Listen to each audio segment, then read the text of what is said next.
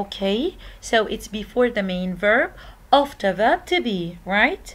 Let's see the example here. She's always late for work. Is always. Is always because is is verb to be so that's why we put always after it. It's before the main verb after verb to be huh? They are often hungry. Are often. Are often. Are verb to be after verb to be okay let's uh, look at the example up here.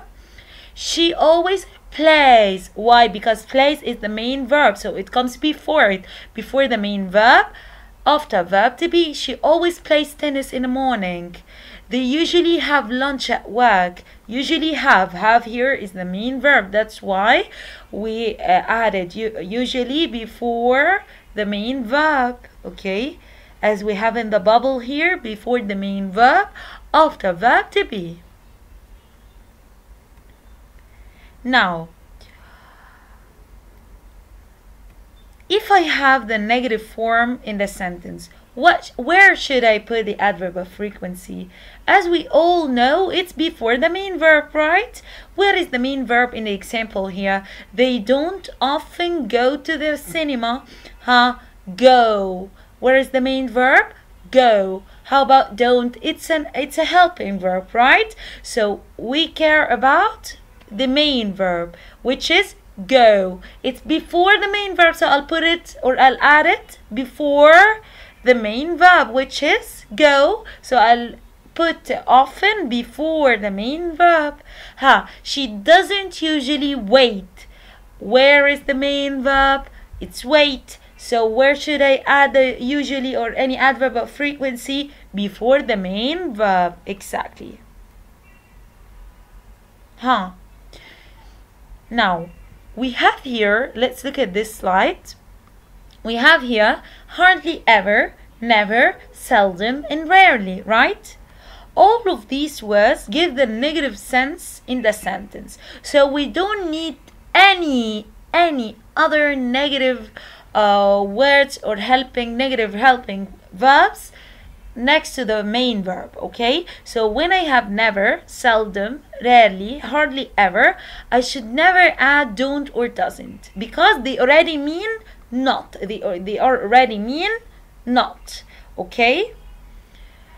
Now like never seldom rarely and other adverbs of frequency with a negative sense are not usually used in the negative form like he never smokes I can never say he doesn't never smoke.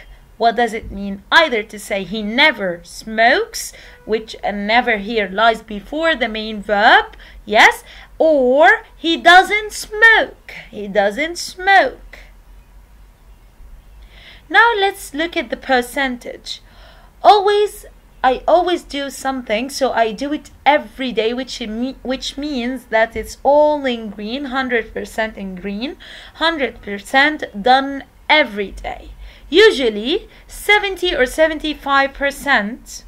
So I'm doing the thing five times a week, not every day. Okay? Often 50%. So I'm I'm doing this thing three times or two times a week. Sometimes it's 10 uh, sorry it's 30 percent. 30 percent. So I'm doing the thing either two times or one time a week. Rarely it's 10 percent. So I'm doing the thing one time in the whole month. One time in the whole month. Once a month. Never I never do it so it doesn't have anything in green. Now once means one time, twice means two times, three eh, times means three times as you can see, four times, and five times. Let's answer these questions together. I ride my bike twice a week. So what do you think? Let's do that. Huh? Twice a week. So let's try. No. It's not sometimes. Okay. Let's try often. Correct. Exactly. Huh. I walk my dog every day. Is it usually? Let's try usually. No. Okay, then Correct. it is always excellent. I played the saxophone five times. Huh? Five times. Yes, excellent. It's usually, but I cannot find the. Yes, it's here. Correct. I go to the cinema once a month. Once a month. Is it sometimes? No. Hmm. Okay, which one is it then? Correct. Exactly. Rarely. I don't drink alcohol, so I never drink Correct. alcohol.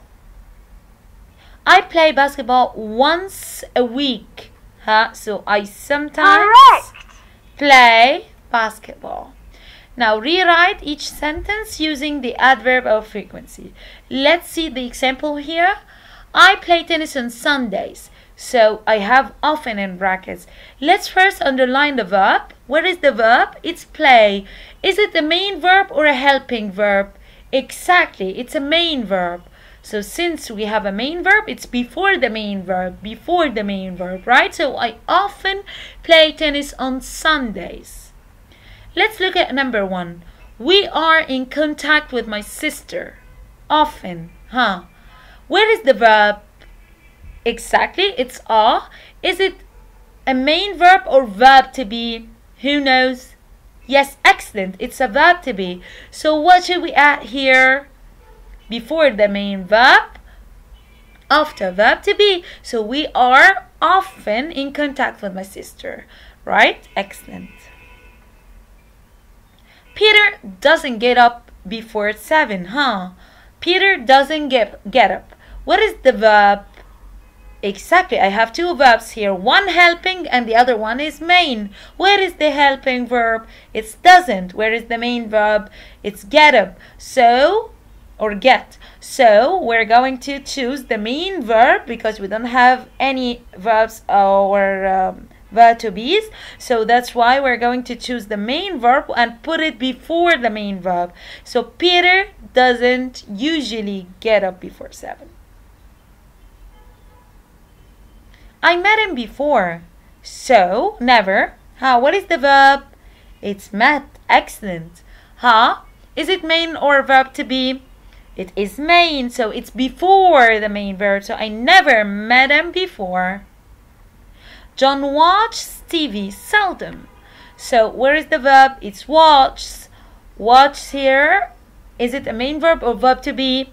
Exactly. It's a verb, uh, it's a main verb. So where should I add it? Before the main verb. So John seldom watches TV.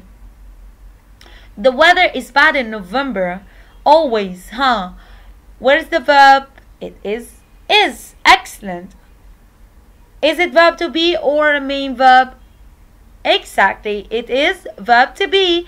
So it, it's after verb to be. So the weather is always bad in November. Now let's look at your homework. Here, what about you? How often do you do these things? How often do you tell lies? How often do you eat fish? How often do, do you watch television? And so on. You have to answer these questions in a piece of paper and bring it with you next time. Thank you. I hope you've enjoyed the lesson. Bye.